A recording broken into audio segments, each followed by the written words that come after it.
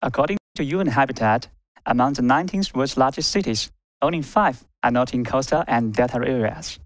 Unfortunately, life there is not always safe enough. In emerging economy countries, delta regions are more vulnerable.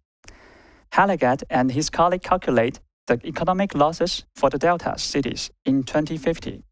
They find out that among the world's 20 delta cities, 17 will be from the, the, the developing countries. Two cities are even from the same delta region, and that is the Pearl Delta of China. According to World Bank, the Pearl Delta has become the largest urban area of the world in 2014. It has been the fastest developing and most densifying urban urbanizing delta in the world for the past four decades. It has led the Chinese urbanization and socio-economic transformation. However, the delta is suffering from great challenges due to climate change and environmental degradation, such as mangrove disappearance, agricultural land loss, air and water pollution, water shortage, and decreasing social security. On the one hand, the region is exposed to increasing flood risk.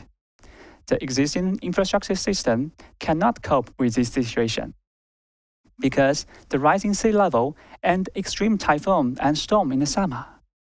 On the other hand, the ecosystem is getting increasingly fragmented and vulnerable. It's reaching the limit of the environmental carrying capacity for further urban development. But it is usually very hard to study those fast developing delta regions because the spatial data is not easy to get, and the data is easily out of date. With such limitations, how can we find out the resilient possibilities for these delta regions? Mapping can be one of the solutions. Let's do some exercises on the Pearl Delta to show how mapping can help us to understand. I collect data from many sources, such as geological studies, historical maps, archives, master plans, and field trip with the GPS.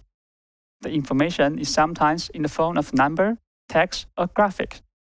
Therefore, we need tools to spatialize them. We can do this by locating the information on the map. I have tracked three types of spatial change on the map.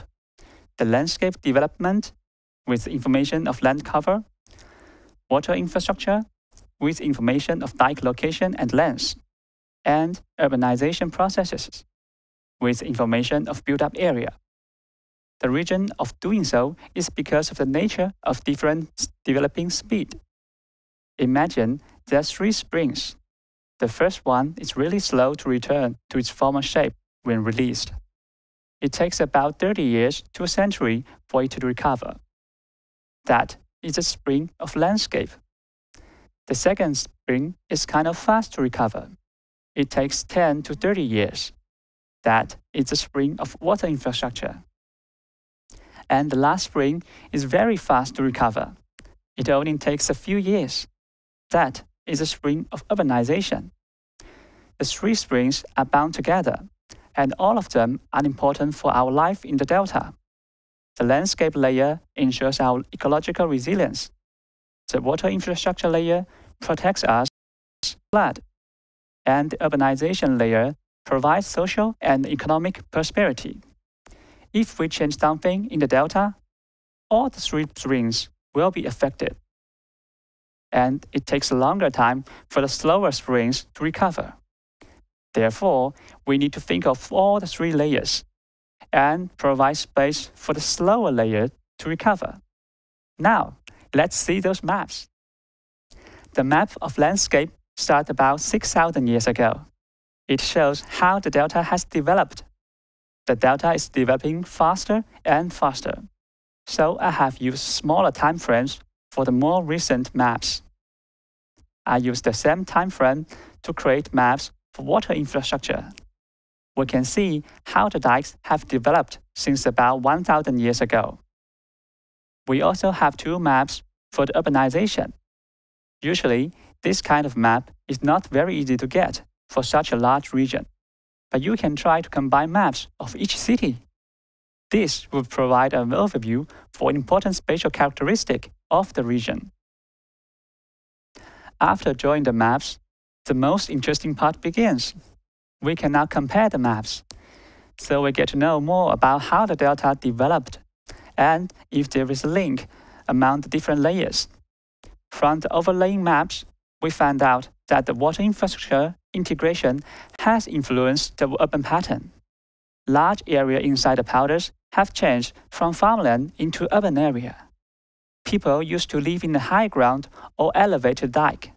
Now, they step down and build cities in the lowland, with wish to use the dike to protect all their belongings against water. With the large and complex dike system, it is hard for local citizens to realize their decisions have changed data fundamentally. Their decisions have changed the urban pattern in the delta scale. It is another pattern that heavily depends on the dike system in the delta scale. Such unawareness also makes the plans and design less likely to meet increasing flood risk. So, now you have an idea of what mapping can do. It helps us to understand the complex system and make it easier for us to discuss this with others. In this way, mapping provides possibilities for better design and plans.